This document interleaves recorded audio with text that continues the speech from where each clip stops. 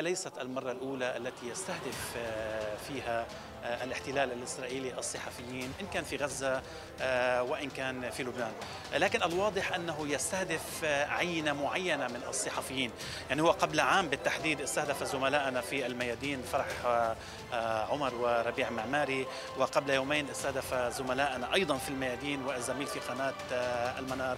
هو يريد أن يقول لهذه الصحافة وتحديدا الصحافة التي تدافع عن أهل غزة التي تدافع عن الحق وتريد أن تكشف الحقيقة. يريد أن يقول لها أنني سألاحقكم أينما كنتم حتى لو كنتم نياما. سوف أمنعكم من أن تنقلوا صورة الحرب الإبادية التي أقوم بها. سوف أمنعكم من أن تقوموا بنقل الجرائم التي أقوم بها إن كان في قطاع غزة أو في جنوب لبنان. نحن هنا مهمتنا أن نقول له أن هذه الدماء التي سقطت هي الحافز لنا على أن نكمل طريقنا. سوف نواصل هذا الدرب اليوم هي المعركة معركة رواية. من تثبت روايته هي الرواية الأصح والعالم كله يعرف جرائم العدوان الصهيوني في فلسطين وفي لبنان وهي جرائم إبادة جماعية والمجتمع الدولي ساكت عنها.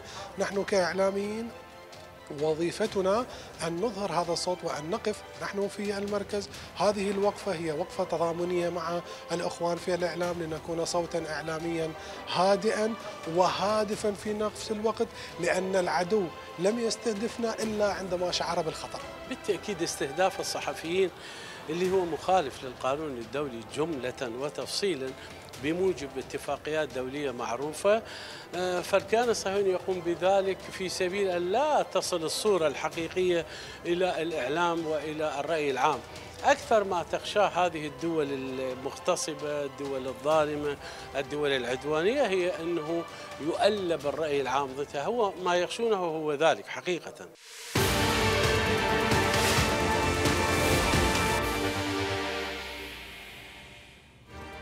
الوعد الصادق الأول تحقق وإيران شوفت العالم قدرتها على القصف.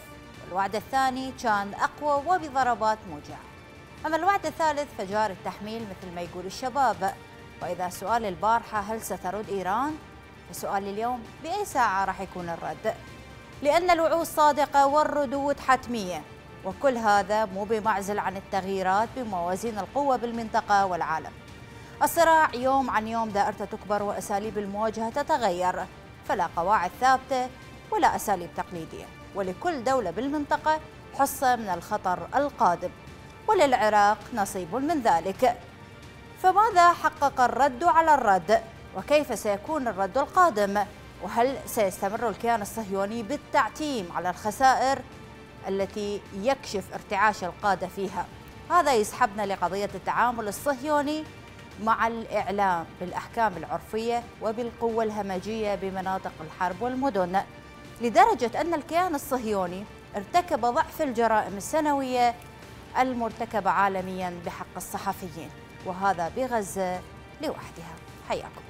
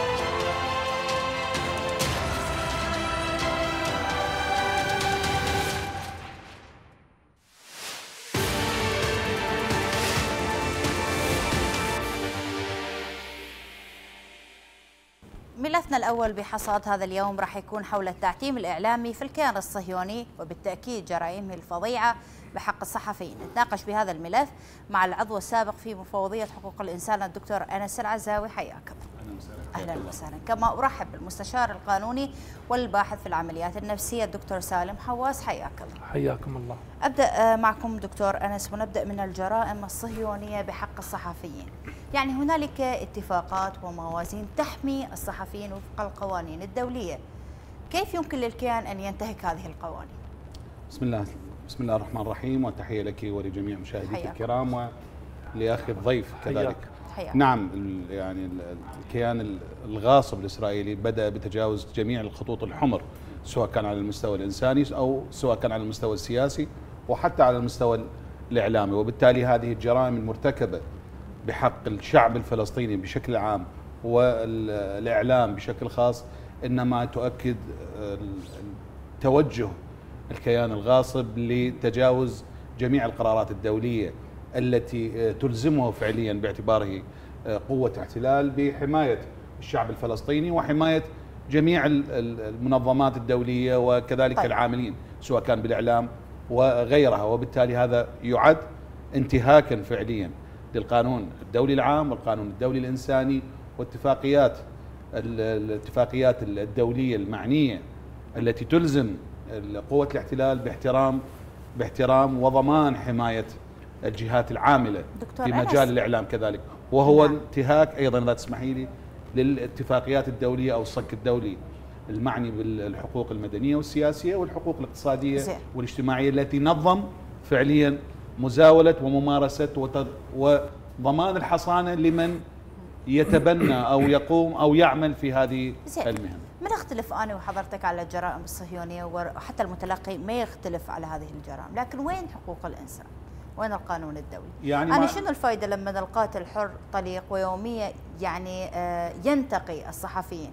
ما شفنا صحفي أمريكي مات بالحرب لا طبعا فعليا هم الانتهاكات يعني واضحة جدا وعدد الصحفيين الذين أو الإعلاميين الذين الذين قتلوا فعليا سواء كان بادعاء الكيان الاسرائيلي إنه أخطاء عسكرية أو استهدافات لأن كثير من الحالات بعض الحالات حتى حتى ركز عليها سواء كان من كوادر قناة الجزيرة أو العربية أو غيرها من القنوات.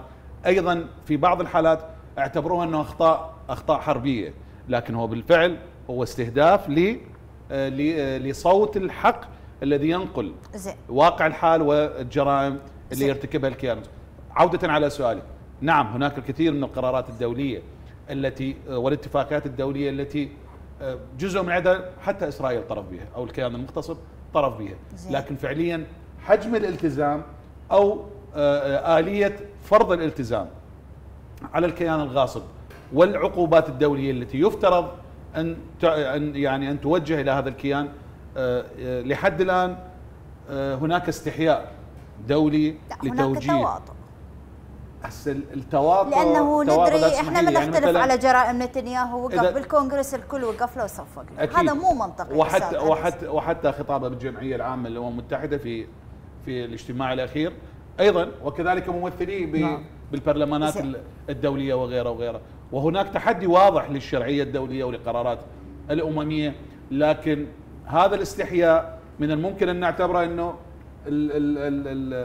الجانب الدولي أو الجانب الأممي فعليا بدأ يتجاوز أو يكسر هذا الحاجز. بعد قراره 27 30 في اي في في يونيو حتى نفصل هذه النقطة بشكل نعم. مفصل أرجع لك ولكن أتوجه بالسؤال للدكتور سالم. حياك الله من جديد. حياكم الله. يعني إحنا إيش نفهم من أنه الكيان الصهيوني يختار الصحفيين بهذه الطريقة؟ شنو المغزى؟ أتحدث من حيث الحرب النفسية. تمام. شكرا لك سيدتي الكريمة وشكرا لقناة الأيام والجمهور الكريم والضيف العزيز. الحديث عن محور الصحافة بجانبين أولهما الجانب القانوني والثاني جانب العمليات النفسية. على صعيد الجانب القانوني طبعا هناك آه، يعني اتفاقيات متمثلة باتفاقية فيينا واتفاقيات الأمم المتحدة اتفاقيات كثيرة ومعاهدات كثيرة توجب حماية الصحفي ايا كان في أرض المعركة وخارجها. زين وهذا الانتهاك الواضح الصريح يعني كما أشار آه، إلى جناب الدكتور آه، هو عمدي بصراحة. يعني هذه جرائم إحنا نصنفها قانونيا تحت مفهوم الجينوسايد الإبادة وجرائم العدوان وجرائم الحرب جرائم وجرائم بها تصنيفات كثيرة جدا. المحور الآخر اللي هو محور العمليات النفسية. أنا حقيقة البارحة كنت آه، في اتصال مع أحد الزملاء في نقابة الصحفيين الفلسطينيين وبعض نعم. النقابات تربطنا علاقة طيبة جدا. زودوني بصراحة باحصائيه خطيرة جدا. عدد الص- الصحفيين الذين استشهدوا منذ عام 2000 ولغاية 2022 على مدى 22 عام 46 صحفي. بينهم ثلاثة لبنانيين تقريبا أعتقد. واحد يمكن أردني. لكن منذ سبعة تشرين 2023 إلى يومنا هذا سنة يعني أقل أو أو أكثر سنة وشهر 183 صحفي آه، تم آه، حقيقة اغتياله من قبل الكيان الغاصب. وهذا مؤشر جدا خطير. هذا 183 صحفي نعم. اغتيل أو استهدف بطريقة انتقائية؟ لا هو هو حتما طريقة انتقائية بس هي لا تخلو من الطريقة العدوانية يعني والطريقة المبيتة إحنا كما تسمى بالفقه القانوني مع سبق الإصرار والترصد. آه. الصحافة محمية بنصوص قانونية يعني أيا دولية. كانت نعم نصوص قانونية دولية. أحسنت. نصوص قانونية دولية. وبالتالي الصحفي أيا كانت جنسيته وهويته هو هو في منأى وفي آه، حماية تامة. لكن هذا هو المؤشر الخطير اللي أنا أيضا البارحة تحدثت مع بعض الأخوة يعني خاصة في اتحاد الصحفيين العرب. زين. يعني واليوم يرأسه الزميل مؤيد اللامي آه، يعني له حقيقة صولة في هذا الموضوع. لماذا تخلو هذه النقابات العربية اللي هي آه، يعني 22 نقابة كما يقول الدكتور الوائلي عشرون كفا حرة ما أوقفت ما هو يد مغلولة إذ تصفع يعني لماذا لا تشكل في هذه ال- ال- النقابات غرف للعمليات النفسية وهذا حتما من المحاور المهمة التي يعني لابد أن نناقشها زين ليش ما يسوي؟ شنو المشكلة؟ يعني قلت أكو إمكانات قصور. قلت دراسات سيدتي الفاضلة أكو قصور قصور من وأكو قبل تقصير منو؟ من قبل النقابات ذاتها زين اليوم يعني بصراحة يعني الدول العربية يمكن 90% هي مع التطبيع ومع آه هذا يعني المهادنة مع ال- ال- الكيان الصهيوني ب- بطريقة أو اذا مو قصور اذا تعمد أستاذ سالم لا هو هو يتعمد نعم. يتصرف هالشكل حتى ما يكشف ال- القضية لأنه هو أصلا مطبع يعني إيش نترجى منه؟ إحنا نعول على المنظمات الجماهيرية وعلى النقابات لأن هذه النقابات بصراحة تكاد تكون مستقلة يعني يعني إلى حد ما هي لا تحسب على يعني الأجهزة الرسمية هي للدول هنا ما مفهومة. إلى حد هي مستقلة. بعدين إلى حد ما.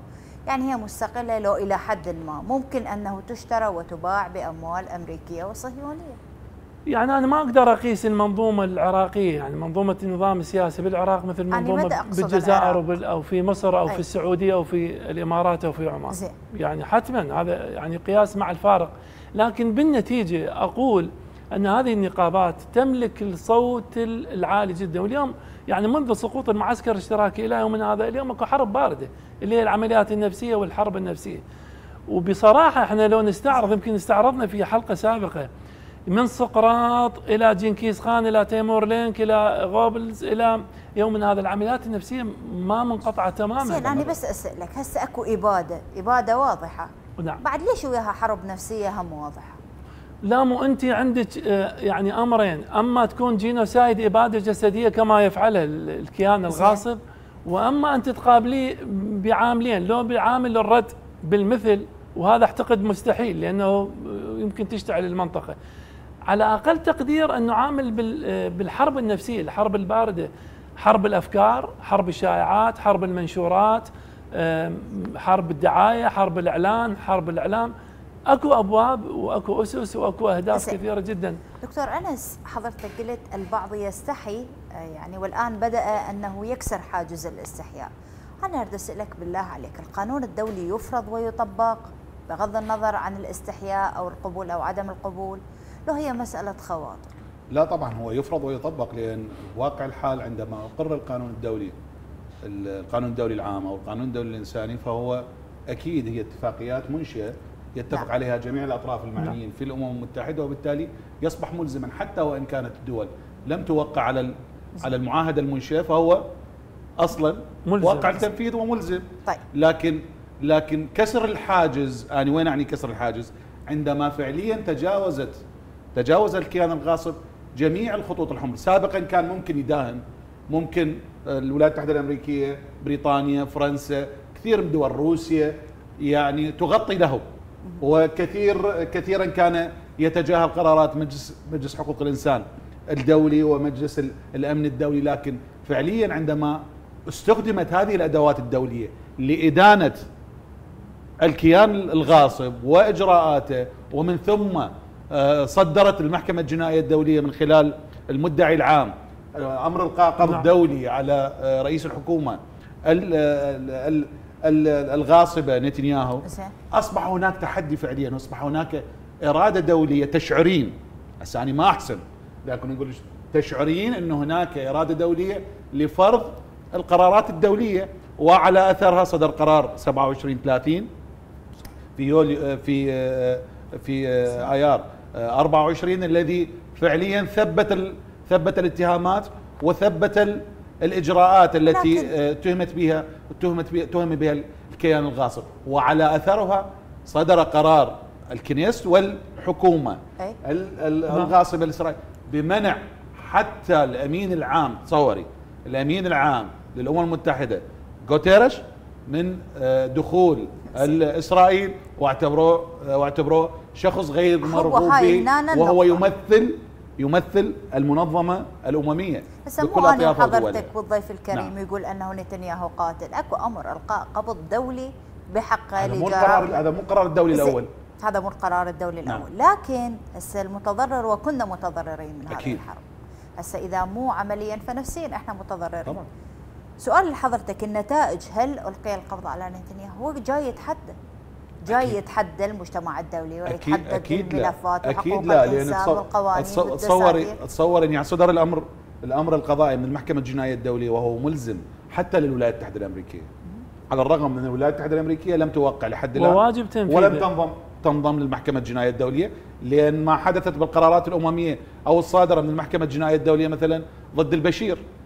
كان مطالب دوليا واحتجز أكثر من مرة وكراديش اليوغوسلافي كذلك اعتقل وغيره وغيره وغيره وبناء على قرارات سوابق. من المحكمة الجنائية الدولية. طيب كيف يصدر أمر إلقاء قبض ويحضر في الجمعية لا، العامة ويستقبلونه للأمم المتحدة بعد. ويستقبل الرئيس الأمريكي؟ مو؟ وت... إذا هناك ازدواجية بالمعايير. القانون الدولي يطبق على ناس دون ناس؟ هناك ازدواجية بالمعايير الدولية في تطبيقها. أي. قد يكون القانون نعم واحد لكن الازدواجية وين؟ في تطبيقها. وبالتالي هذا الازدواجية بالتطبيق تسمح وتعطي الحق للمحتل وللمجرم الدولي أن يستمر بجرائمه وبالدليل أنه استمر بجرائمه وبدأ يتعسف نعم. وبدأ يتحدى وبدأ يرتكب كثير طيب. من الجرائم لحد الآن دكتور سالم. وبالتالي حتى تجاوز إذا تسمحي لي حتى تجاوز تفضل. على بعض الوكالات الخاصة للأمم المتحدة مثل ال- الأونروا صحيح وبالتالي تجاوز عليها واغتالها سياسيا ووقف نشاطها مع انه ميثاق الامم المتحده مادة 2 فقرة خامسة تلزم الدول الأعضاء في الامم في الأمم المتحدة باحترام المنظمات الدولية والمادة 15 105 يعني تعطي الصلاحيات والحصانة نعم. لجميع الوكالات الخاصة للأمم المتحدة طيب. بالعمل نظرياً. فهذه تعطيك نقطة واضحة نعم. وبالتالي استهداف أو ارتكاب لجرائم الحرب وفقا ل وفقا زين للمحكمه الجنائيه الدولية هذه أكيد تترتب عليها آه، قرارات دولية. دكتور سالم أنتقل ويا حضرتك إلى الداخل الصهيوني، اليوم بالداخل الصهيوني ما مسموح لأي وكالة أو صحيفة أو أي وسيلة تواصل اجتماعي أو مثلا منصة تلفزيونية أن تنقل أي شيء بالداخل الإسرائيلي إلا تحت ما يعرف ببند النشر، السماح بالنشر. تمام. هذا ماذا يعني؟ اليوم نحن كصحفيين أو كإعلاميين كيف نقرأ ما يحدث في الداخل الإسرائيلي؟ هذا طبعا هي صورة واضحة جدا على أنه الكيان الغاصب هو مهزوز من الداخل ومنهزم بل مو مو مو مهزوز يعني منهزم داخليا والدليل على ذلك أنه الرد الإيراني الحاسم على إسرائيل وهذه اللقطة التي أثارت الرأي العام العالمي يعني هزيمة نتنياهو واستهدافه. طبعا حتما تلقي بظلالها على المشهد زين. الداخلي. وما حدث من تسريبات في مكتب نتنياهو. هنالك وثائق سرية سربت من مكتب نتنياهو. كانت تتحدث عن أخطاء جسيمة آه، تحدث الآن في الحكومة الصهيونية. نعم. أعتقد في حلقة سابقة تحدثنا عن هدهد واحد وهدهد اثنين آه، أي. اللي استخدمه يعني استخدمتها المقاومة اللبنانية. نعم. اليوم العمق اللبناني وعمق المقاومة في كل الأطراف في كل الأذرع بصراحة هي مخترقة للنظام الداخلي الأمني للكيان الصهيوني الغاصب. وهذا يدل على هشاشته. واليوم يمكن أكو اشاره اشار جناب الدكتور. أكو تنصل من المجموعة الدولية، موضوع حلف الناتو مواقفه الأخيرة ليست كالمواقف التي كانت عليه قبل يمكن شهر أو أكثر. كذلك حتى آه، آه، يعني بايدن آه، فرنسا بريطانيا مواقفها بدأت تتهشم لماذا؟ اليوم التحرك الدولي وفق قوانين الدولية والضغط الدولي والضغط الشعبي يعني آه، أنتج آه، ثمار عظيمة وكبيرة جدا. وأنا قلت يعني في المحور الآخر اللي موضوع العمليات النفسية أتمنى يعني بصراحة على آه، يعني أذرع المقاومة وهي كثيرة جدا نعم. أن تلتفت إلى موضوع الحرب النفسية، الحرب النفسية حرب مدمرة وحرب عملاقة. مثل شنو؟ يعني اليوم لو أردنا أن نعطي مقومات عن الحرب النفسية ماذا تقصد؟ الحرب النفسية اليوم هاي السوشيال ميديا حرب نفسية. متى يخلوك؟ إذا تكتب غزة لا لا لا اليوم أكو وسائل بديلة سيدتي الكريمة. وسائل كثيرة. عندنا اليوم يعني الإعلام العربي وإعلام المقاومة وإعلام دول الممانعة تملك الصحف والمجلات والسوشيال ميديا وتملك الإعلانات وتملك المنشورات. يعني اليوم المنشور هو أقوى من قنبلة هيروشيما.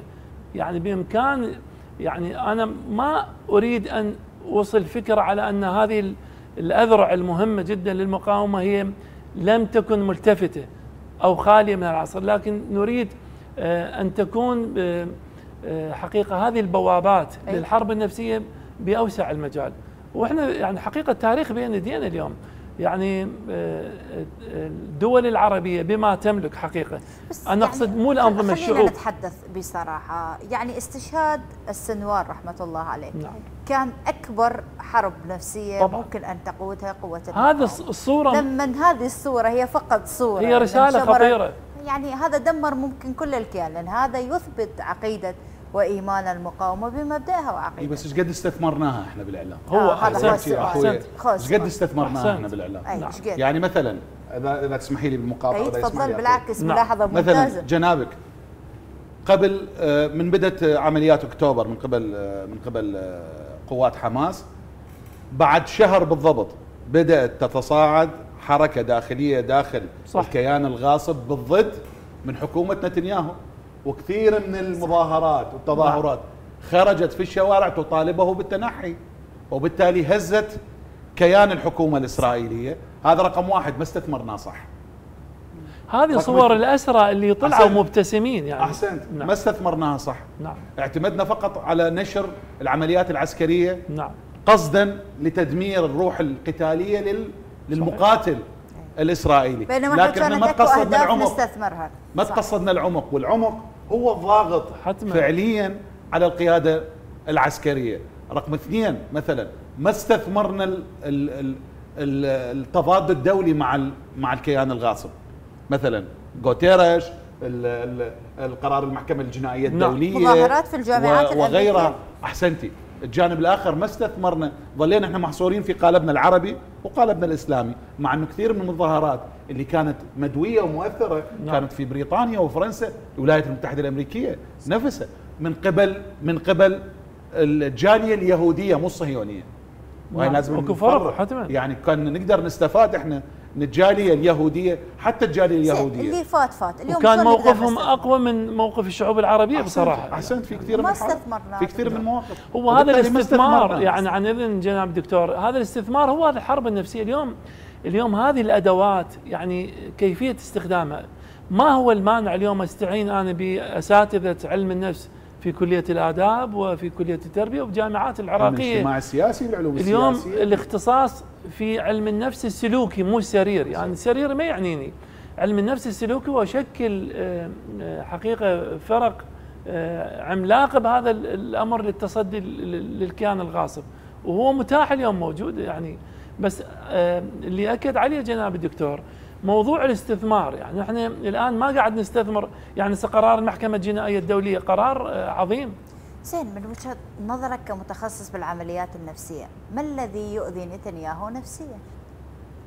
أكثر شيء إذا أردت تقود هسه عليه حرب نفسية ما الذي يؤذي نتنياهو نفسيا؟ يعني إبراز صور الأسرى الإسرائيليين من قبل آه، آه، المقاومة وهم مبتسمين وبشكل اريحي آه، اثار الإعلام حتى الصهيوني داخل الكيان الصهيوني. يعني الصورة التي كانت مشوهة عن المقاومة بأنهم قتله وبأنهم عكست. هذه هذه صورة بسيطة جدا. تداولت مواقع التواصل الاجتماعي أنه نتنياهو ابنه تزوج قبل أسبوع في حفل باذخ جدا.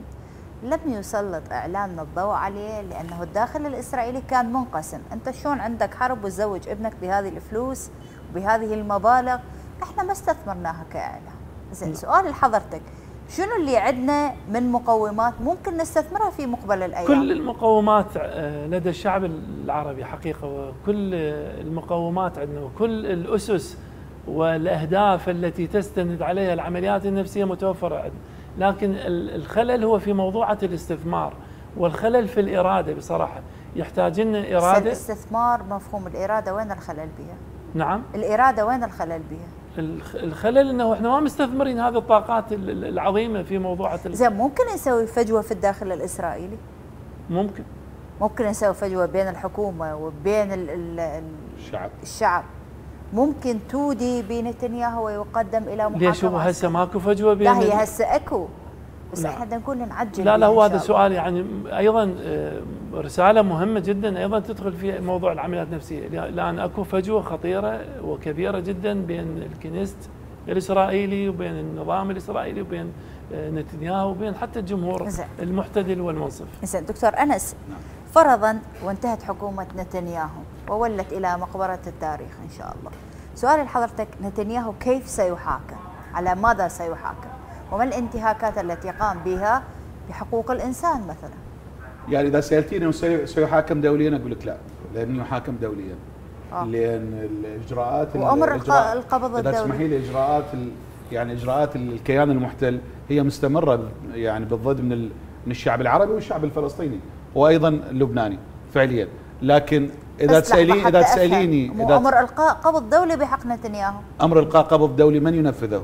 إذا كانت توفرت هناك إرادة دولية لتنفيذه. أي. فعليا. سي. إرادة دولية لتنفيذه. على سبيل المثال مثلا بوحدة من الدول اللي هي موقعة على على النظام الأساس لتشكيل آه، محكمة روما. النظام الأساس لروما لروما اللي شكل المحكمة الجنائية الدولية. إذا أحدى الدول إذا أحدى الدول موقعة عليه تكون ملزمة بتسليمه. زين. تسليمه للمحكمة الجنائية الدولية.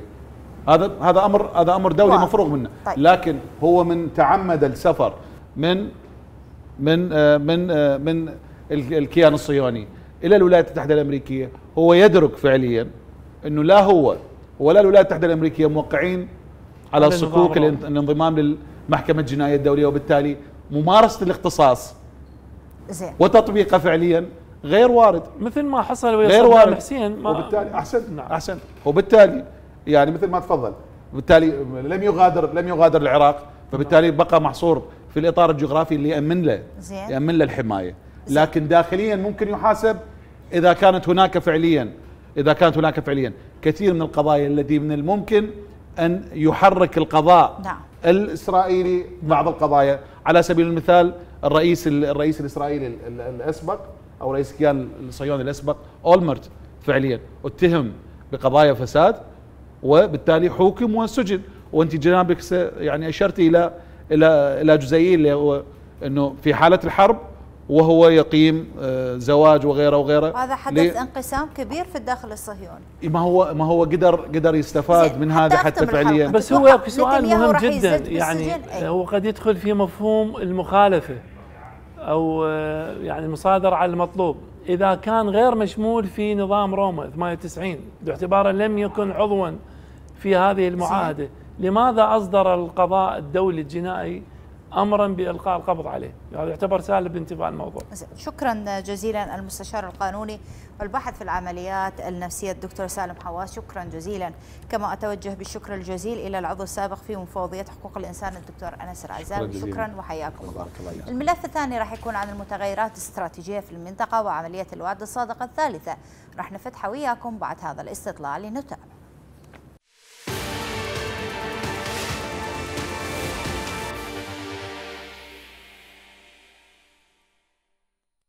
سواء كانت في لبنان أو كانت في غزة فهي معركة واحدة. هذه المعركة التي لم يشاهد العدو الصهيوني قتالا واستمرارا في معركة طول حياته مثل هذه الأيام ومع هذه المعركة اللي هي معركة مستمرة. قراءة بعمق ما يمكن آه، أن تتشكل عليه المنطقة. سواء في الجانب الجيوسياسي في الجانب الأمني في الجانب الاستراتيجي وما تداعياته التي سوف تكون على العراق. هل الدولة العراقية اليوم عندها قدرة على قراءة الأحداث والتصدي لها هل المنطقة آه، سوف تذهب إلى آه، تشكيل تحالفات جديدة؟ لابد أن نقف وقفة واحدة مع الشعب الفلسطيني والشعب اللبناني الشعبين المظلومين. ولذلك هكذا مؤتمرات وهكذا وهكذا ندوات لابد أن آه، تحمل رسالة في طياتها أن لابد لا خلاص من العدو إلا بالجهاد وهذا هو الجهاد العظيم. مهما حاولنا هذا لمدة ثمانون عاما ما يقارب ثمانون عاما الشعب الفلسطيني يعيش هذه المعاناة وإزدادت يوما بعد يوم. ما هو الذي قدمه بصورة عامة العالم أجمع لهذا الشعب المظلوم. والآن ما نرى أيضا الشعب اللبناني. ولذلك دور المقاومة هو لا خلاص إلا بتحرير أراضي الشعبين المظلومين. لعب العراق دورا عظيما في مساندة الشعب الفلسطيني في قضيته العادلة في التخلص من هؤلاء الصهاينة المجرمين. وترك بصمة عظيمة لا بد للتاريخ أن يشير إليها وأشار إليها ولكن علينا أن نستمر بهذه الجهود ولا ننسى أن الحكومة العراقية وقفت أخيرا بفضل من الله تبارك وتعالى وجزاهم الله خير ابتداء من رئيس الوزراء الأستاذ محمد الشيع السوداني وكذلك جميع المفاصل في الدولة العراقية وقفت مع الشعب اللبناني ومع الشعب الفلسطيني في محنتهم هذه.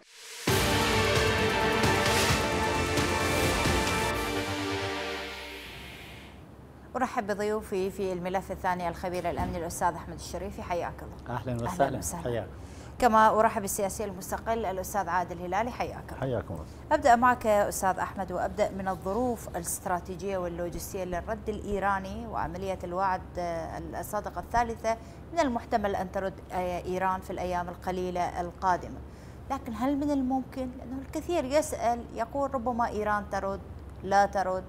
أي ساعة سوف ترد؟ أسئلة كثيرة تتناقل أستاذ بسم الله الرحمن الرحيم. حق الرد مكفول ضمن القانون الدولي وضمن ميثاق الأمم المتحدة. ولكن حق الرد سيقيد آه، بأسس ومبادئ في إدارة الصراع على مستوى الشرق الأوسط وفي رؤية استراتيجية تتبناها الجمهورية. في تقديري إنه نظرية تبنتها الولايات المتحدة ورسخها برجينسكي تتحدث عن رقعة الشطرنج الكبرى. وفي البداية طبقت في أوراسيا. نعم. الآن رقعة الشطرنج الكبرى هي في منطقة الشرق الأوسط. وإحنا على أعتاب متغير مهم جدا بين أوكرانيا والدور الروسي وبين الشرق الأوسط والدور الإيراني في مرحلة ما بعد الانتخابات. لأنه مرحلة ما بعد الانتخابات الأمريكية زين. يصار إلى أن الدولة العميقة الآن في الولايات المتحدة ترسم ملامح برنامج جديد في برنامج الجديد ستكون فيه الأدوار مختلفة اختلافا كليا على المستوى الدولي لروسيا وقضية حل أوكرانيا والتي أعلن عنها رسميا إنه زين. سيجري حلها على آه، أسرع وقت وشرق اوسطيا سيصار إلى توزيع أدوار جديدة مثل شنو الأدوار الجديدة في الشرق الأوسط؟ في تقدير ضمن لعبة الحرب أن المصالح العليا للدول تتحقق بتحقيق آه، أمنها القومي. زين. والولايات المتحدة ترى أن أمنها القومي يعزز بدور الحلفاء ومصادر الطاقة. وإيران لعبت كفاعل آه، اقليميا نعم. حقق امتدادا في علاقة مع دول الخليج وفي تقديري كانت آه، نقطة يعني منتهى الدهاء. زي. هي قضية العلاقة مع السعودية ومع دول الخليج وعززت أيضا بموارد قتالية. إذا عدنا فيها إلى نظرية برجينسكي نظرية رقعة الشطرنج ندرك حقيقة مؤداها أن هناك حكمة في إدارة هذه اللعبة التي هي من لعب الحرب. يقول ضحي برخيك وانقض بيدقك. ففي بعض الأحيان تقدم أهداف تكتيكية زين. الغاية منها الحصول على منجزات استراتيجية ولكن بعيدة المدى. ولكن فهذا لا اللي تجر المنطقة إلى حرب مفتوحة. لن تكون هناك حرب مفتوحة. هذه النقطة. ومن يقيد بالمناسبة من يقيد؟ حتى إسرائيل في مسألة الضربة إلى إيران هي الولايات المتحدة. إدراكا منها أن الحرب المفتوحة ليس في مصلحتها وستهز معادلة الأمن القومي الأمريكي. لذلك قضية الآن خلينا نوضحها للرأي العام العراقي. تفضل حضرتك. يجري الحديث عن أنه لماذا لم تدن الجمهورية حال وقوع الضربة؟ وأن الضربة كانت في تقييمنا كعسكريين كانت أدنى بكثير مما لوحت به إسرائيل. صحيح. فالضربة ما كانت ضربة موجعة ولكن المرشد الأعلى وجد أنه السكوت يسقط حق الرد لإيران فطلب تضخيم الأمر. ضخموه حتى يبقى حق الرد متاح عندنا. ونجعله كسلاح بيد بزشكيان في إدارة المفاوضات. فسلحوه برفع منسوب أن الضربه كانت موجعة. بزشكيان لكن عسكريا ما كانت موجعة. تصريح جدا لافت ويتناسب مع ما تفضلت به. قال إذا توقفت الحرب في غزة هذا سيؤثر على شكل ردنا وعلى كيفية ردنا يعني ماذا يقصد في العلوم العسكرية؟ أحسنتم لأن هم كان هو نتنياهو يطالب بمسألة فك الارتباط بين الساحات. المنجز الأكبر الذي حققته الدبلوماسية الإيرانية هي في ربط الساحات في معادلة واحدة اللي هي الحل في لبنان والحل في غزة. الحل في لبنان وفي غزة معنى ذلك أنه أحكام الطوق طوق الطاقة خليج بحر الأحمر حوض البحر المتوسط وتكون فيه إيران اللاعب الفاعل والمؤثر لأنه إيران تتحدث عن ما يطلق عليه ببرنامج نووي سيؤمن مظلة نووية شرق أوسطية. شنو قضية المظلة النووية؟ لأن هذه لابد أن ننعش ذاكرة الرأي العام بها. نعم. المظلة النووية أن الدول الكبرى التي تمتلك السلاح النووي تأتي إلى حلفائها الذين لا يمتلكون السلاح النووي. تضفي عليهم دعما وإسنادا للدول التي لا تمتلك سلاح نووي طيب. على سبيل المثال الولايات المتحدة لديها تحالف أكثر من 30 دولة ضمن المظلة النووية. بريطانيا هولندا وبلجيكا ضمن مظلتها. روسيا بيلاروسيا وكازاخستان تحت مظلتهم النووية. إيران ترى أن الحصول على البرنامج النووي سواء كان سلبي أو عسكري سيؤمن لها مظلة نووية تجمع فيها محور الممانعة. ستكون هناك مظلة نووية شرق أوسطية إلى العراق وإلى سوريا ولبنان وفلسطين. فهي معادلة ضخمة جدا. معادلة. هذه تقتضي بالحقيقة نعم. الحكمة في إدارة الصراع طيب. أستاذ عادل عائد أجدد الترحيب بحضرتك واسالك هل من الممكن أن يكون الرد الإيراني قريبا قبيل الانتخابات الأمريكية أو قبل ذلك بقليل؟ لو هذا الموضوع مستبعد. يلا بسم الله الرحمن الرحيم. تحياتي لك أخت فرح ولدكتور أحمد قناتكم موقره والمشاهدين الأكرام.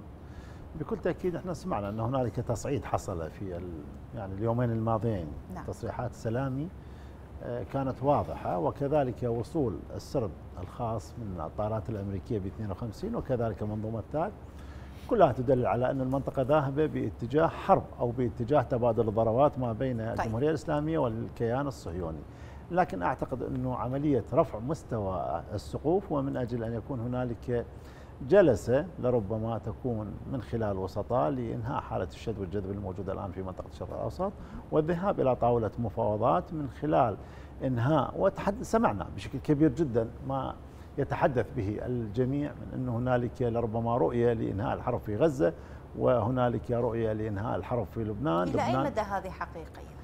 يعني هي الآن أنا ما أعتقد أنه حقيقة ولكن آه، لي رأي فيها أقول أنه عندما يؤلم الكيان الصهيوني من خلال الضربات التي توجهها المقاومة بشكل قوي جدا يلجأ اللاعب الأمريكي إلى طرح سيناريوهات التفاوض وإنهاء الحرب. لكن شفنا أنه كل هذه الأمور حقيقة ما لاقت صدى واضح ومحدد.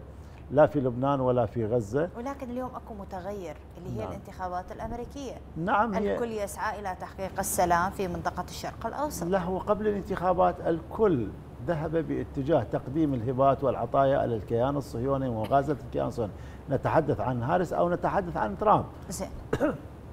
عفوا وكانت هنالك وعود كبيرة جدا بحماية إسرائيل وعدم السماح بالمساس بإسرائيل وما إلى ذلك لكن الموضوع سوف يختلف بعد الانتخابات اليوم أمس تحدثت كامالا هارس في ميشيغان وقالت أنها يجب أن آه، تنتهي الحرب في قطاع غزة لماذا؟ لأن هنالك جالية عربية كبيرة جدا كما تعلمون وهي تريد أن تغازل الجالية العربية في في كيف هذه كيف يمكن الثقة بكاميلا هارس؟ لا إحنا لا يوجد لدينا ثقة حقيقة في كل مسؤولي الولايات المتحدة الأمريكية لأن القضية الفلسطينية اليوم عمرها أكثر من 75 سنة لم نشبع منها إلا من الوعود الجوفاء والفارغة. ما حصلنا من الولايات المتحدة الأمريكية أي وعد من الممكن أن يذهب باتجاه حلحلة الأزمة وإنهائها طيب. في فلسطين. هنالك حقيقة الكثير من الأحداث الكبيرة والجسام التي حصلت خلال الفترة الماضية.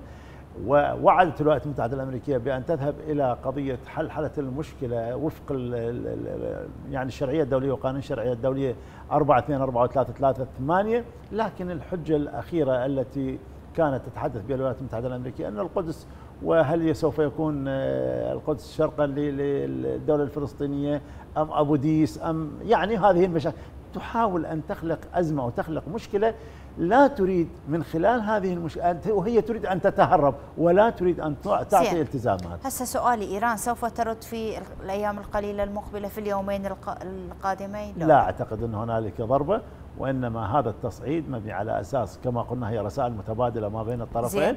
وأعتقد أنه كما تحدث سيد مسعود بزشكيان وقال بالحرف الواحد إذا كانت هنالك خطوات إيجابية من قبل الولايات المتحدة الأمريكية بإنهاء حالة الصراع في غزة وفي لبنان أعتقد إيران جيد. سوف تكتفي بها جيد هل الولايات المتحدة تريد إنهاء هذه الحرب؟ بكل تأكيد هي الحرب لها تبعات كثيرة جدا الولايات المتحدة الأمريكية تريد أن تحافظ على الكيان الصهيوني تحافظ على هذا الموقع المتقدم لها في منطقة الشرق الأوسط هي شعرت بشكل كبير جدا أنه الكيان لربما تهدد بحالة غير مسبوقة من خلال الضربة التي تعرض لها في 7 أكتوبر وأن هنالك محور المقاومة ومساحة الكيان قد تقوضت بشكل كبير جدا.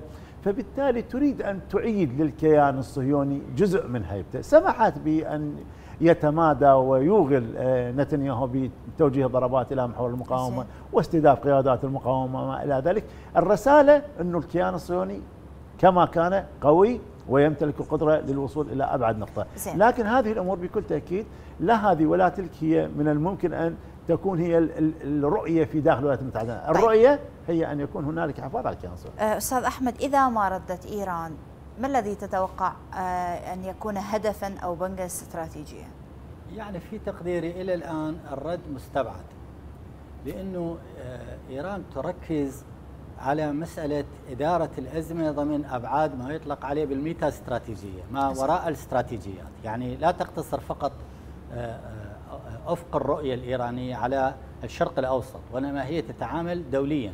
ولذلك كانت تحدثت عن المظلة النووية وحالة التوازن في الردع النووي على المستوى الدولي.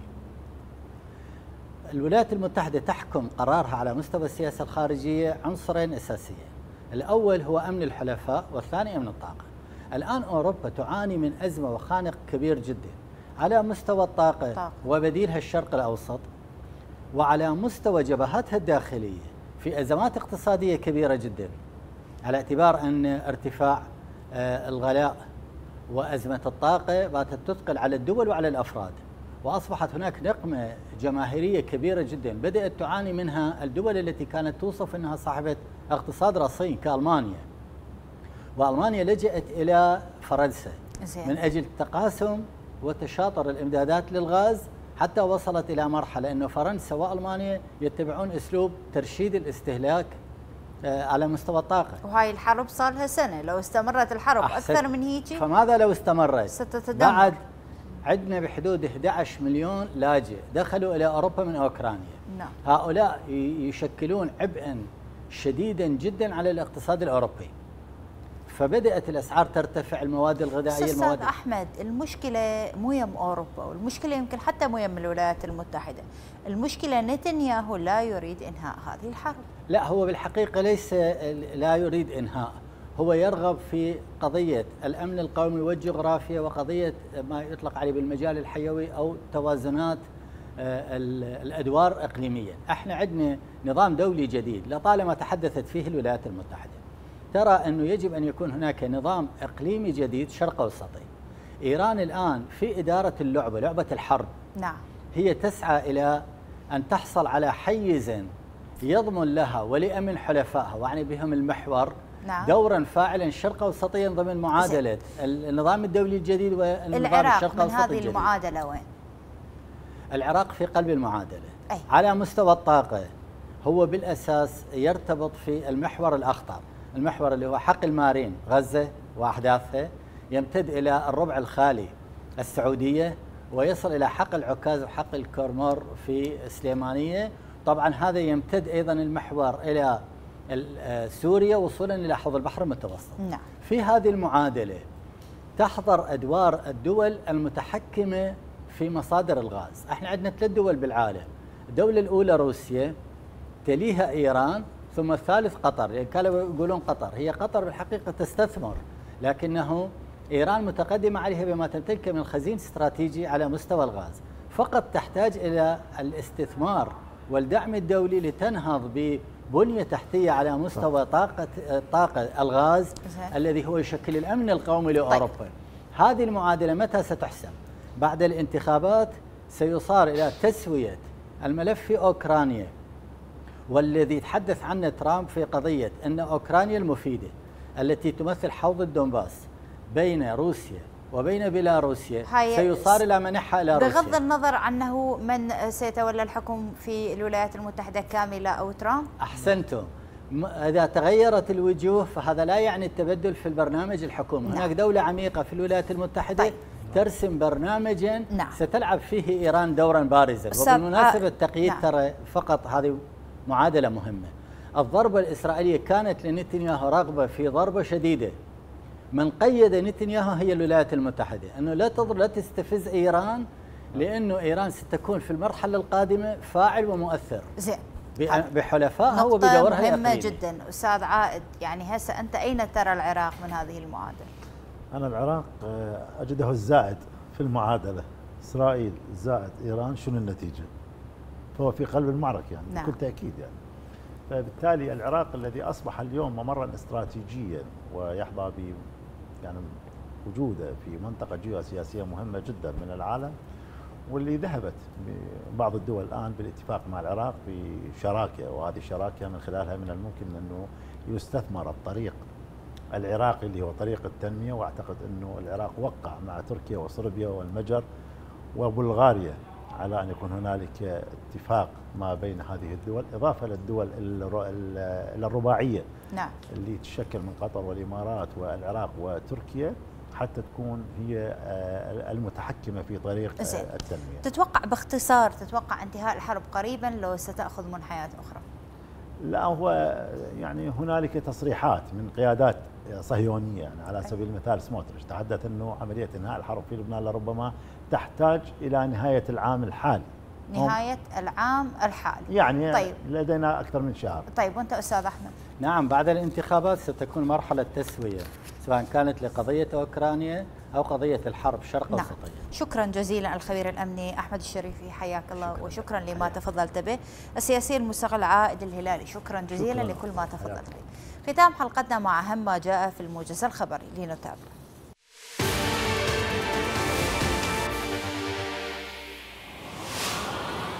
رئيس مجلس الوزراء محمد شيع السوداني يلتقي رئيس مجلس النواب محمود المشداني في بغداد اليوم الأحد ويتم بحث سبل تطوير التعاون بين السلطتين التنفيذية والتشريعية. حدوث تسريب نفطي في مياه نهر دجلة بمحافظة صلاح الدين وهيئة الموارد المائية صلاح الدين تؤكد أن العمل جاري لتنظيف نهر دجلة وإزالة البقع الزيتية. وزارة النقل تعلن إنجاز مرحلة التصاميم الأولية لطريق التنمية بمساري البري والسككي بنسبة 100% استمرار هطول الأمطار في أغلب مناطق البلاد وتوقعات لتوقف الأمطار ونهاية الحالة الجوية الممطرة يوم غد الاثنين. رئيس مجلس الوزراء محمد شيع السوداني يوافق على إطلاق مبادرة لاستقطاب الكفاءات في القطاعين الحكومي والخاص لتطوير مهاراتهم في الذكاء الاصطناعي بإشراف خبراء دوليين.